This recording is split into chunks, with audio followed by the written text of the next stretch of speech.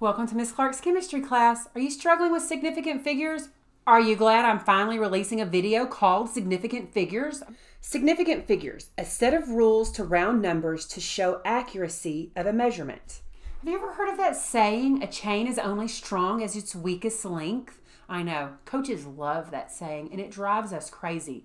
But unfortunately, that's also true in chemistry for measurements. When you're taking a set of measurements and then you're doing some math with them, the answer that you produce, it can only be as accurate as your original accurate measurements. You can't have an answer be more accurate than the numbers that you put into the math problem. Sig figs is what's going to help you figure that out. Okay, let's look at the rules for significant figures. The first rule all non zero digits do count. 48, no zeros, two digits, two sig figs.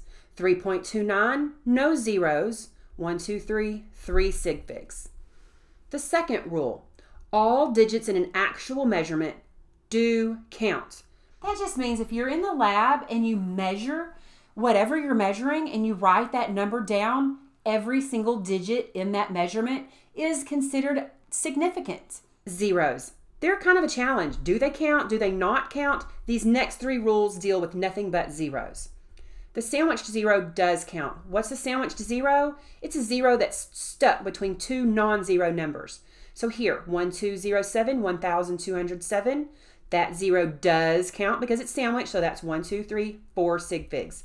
Same thing with this. Two zeros together but they are sandwiched between two digits that are not zeros. So one, two, three, four, four sig figs. Now these last two rules, these are probably the most important rules because they deal more specifically with the beginning zeros and the ending zeros, and that's where the confusion comes. So really focus here. The fourth rule, leading zeros never count. Now this rule really only pertains to decimal numbers, because we never see, I mean, you wouldn't put a zero in front of this 48. Whole numbers normally don't have zeros in front of them. Decimal numbers do.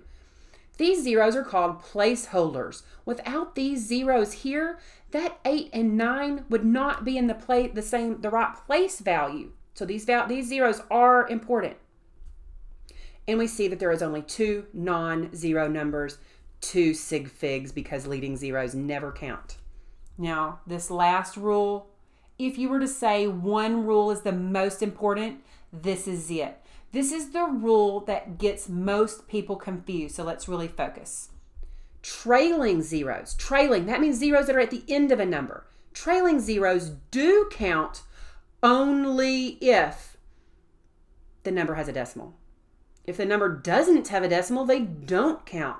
I normally like to say no decimal, no counts. Decimal, count. 500. No decimal, trailing zeros don't count. 500, one sig fig, because the trailing zeros do not count because there's no decimal. 10.60, there is a decimal, so trailing zeros count. So that is 1, 2, 3, 4, 4 sig figs. Now you may notice that this last number I wrote, I put it in this, the form of scientific notation. That's to show you the number in front of the X for scientific notation, every digit is significant. And it's kind of in the design because remember, one number and then a decimal is scientific notation. Well, if there's a decimal in the number, the trailing zeros count. There's always going to be a decimal here, so they're always going to count. Scientific notation, all the numbers in front of the X, always significant, three sig figs. So here's some numbers that you can try counting sig figs. Okay, push pause and see if you can count them. Okay, here are your answers. Now, most of the time, your teacher is not going to care if you can count sig figs. Your teacher wants you to round numbers to sig figs. So let's practice looking at numbers and seeing if we can round them to the correct number of sig figs. We have the number 52,106. We need to round that to three sig figs. Now, a lot of times you would just write the first three numbers 5, 2, 1. Well, that's 521. I'm talking about 52,000. If I owed you $52,106 and I tried to give you $521, you would be furious with me. But if I were to give you $52,100, I am shorting you $6, but I bet you'd be okay. Three sig figs. What we did was we changed that 6 to a 0 because remember, trailing zeros when there's no decimal, they're not significant. So this is three sig figs.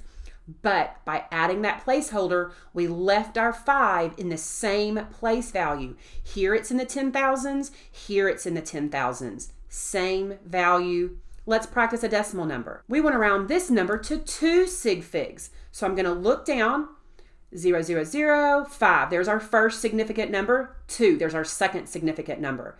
We're going to look one past, that's the 7, and that's going to tell us what to do with the 2. Do we round it up or do we leave it the same? Remember rounding rules. If the number is less than 5, you leave it the same. If it's 5 and above, you round it up. Now, there are some slightly more complicated rounding rules that your teacher might make you do. If so, make sure and do what they say. If we round that 2 up to a 3 because of that 7, we get this number here 0.0053, 2 sig figs. Let's try another example. We've got this number here 21,500,169. Four sig figs is what we're going to try to round this number to. So let's count. One, two, three, four. Right here. That zero right there should be our last number. We look ahead to that zero, oh, less than five, so we would keep it the same. So when I would I would make all the rest of these digits zeros because they're going to be placeholders. Wait a minute. We did all the rules exactly like we did before, but when we write our number, are you noticing what I'm noticing? One, two, three sig figs. Because remember, these trailing zeros are not significant. Well, sometimes this happens, so I'm glad we're coming across this we need one of these zeros to be significant. And to do that, we're just going to put a hat on the, the zero that we want to include as significant. One, two, three, four. When we put that little line on top of the zero like that, that says, hey, we realize zeros are normally not significant, but this one is. Or if we don't like that method, we could always change our number to scientific notation. That's a tip if you're having a hard time rounding, change your number to scientific notation. It makes it so much easier. I know, crazy, huh? Using scientific notation is going to make something easier? It does, though, I promise. Because remember, all the numbers in front of the x are significant. So if we want four sig figs, we put four numbers in front of the x, and then we get four sig figs. And then we moved our decimal one, two, three, four, five, six, seven. So 2.150 times 10 to the 7. I hope this was helpful. If it was, press that like button. If you need for me to make a specific video just for you, leave the suggestion down in the comments. Make sure and subscribe. Bye, y'all.